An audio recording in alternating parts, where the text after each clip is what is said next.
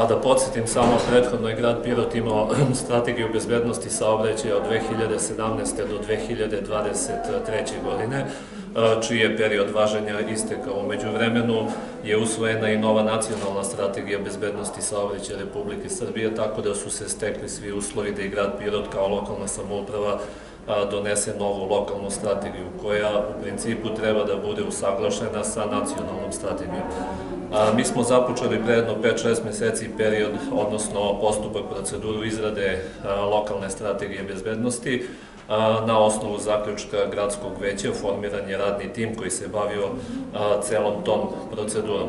U principu u toku rada radnog tima analizirani su neki objektivni pokazatelji bezbednosti saobraćaja, analizirano je postojeće stanje i na osnovu toga su definisane mere i aktivnosti koje treba preduzeti u budućem periodu kako bi se postigli željeni ciljevi da kažem konkretno da su željeni ciljevi nove strategije bezbednosti saobraćaja da do 2027. godine ne bude poginule dece u saobraćaju, dakle teži se ka takozvanoj viziji nula poginule dece u saobraćaju.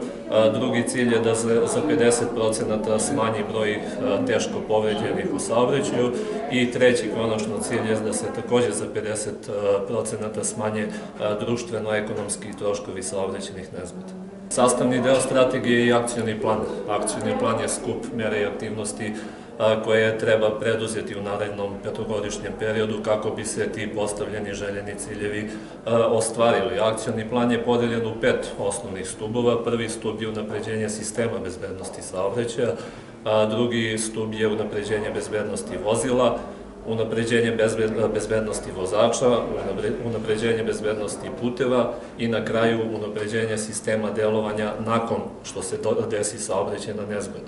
Za svaki od tih sistema definisan je čitav niz meri aktivnosti, tako da mi očekujemo da ukoliko bi se sve te aktivnosti realizovale u narednom petogodišnjem periodu, da ćemo konačno uspeti da ostvarimo toliko željenu viziju nula.